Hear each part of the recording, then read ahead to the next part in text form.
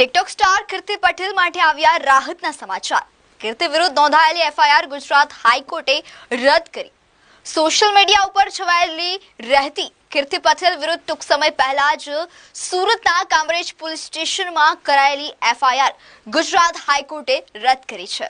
કીર્તિ પટેલના જણાવ્યા અનુસાર ગત અઢાર એપ્રિલથી રાત્રે ગાયો ભરેલો આઈસર શંકાના આધારે અટકાવવામાં આવ્યો હતો, જેમાં કીર્તિ પટેલને અન્ય શૈલેષ મેર નામના કોઈ વ્યક્તિએ જાણ કરતા કીર્તિને લાગ્યું કે ગાયોને કતલખાને લઈ જવામાં આવી રહી છે, જેથી તે પણ ત્યાં પહોંચી ગઈ હતી અને જેનો વીડિયો પણ વાયરલ થયો હતો.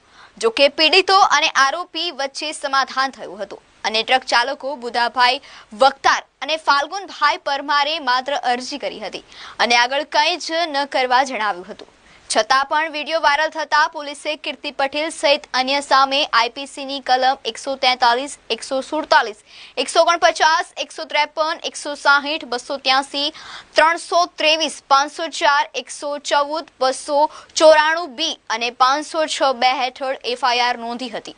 જેથી કીર્તિ પટેલે ગુજરાત હાઈકોર્ટમાં અરજી કરીને તેમની સામેની એફઆઈઆર રદ કરવાની માંગ કરી હતી. એડવોકેટ અનિલ રાઠોડ દ્વારા ગુજરાત હાઈકોર્ટમાં આ ફરિયાદ રદ કરવા માટે અરજી કરી હતી, જેમાં પીડિતા વતી એડવોકેટ જનક પરમાર હાજર રહ્યા હતા.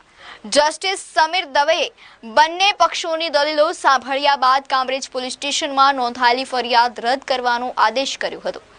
જેથી હાઈકોર્ટના આદેશને લઈને કીર્તિ પટેલ નિર્દોષ સાબિત થઈ ગઈ છે.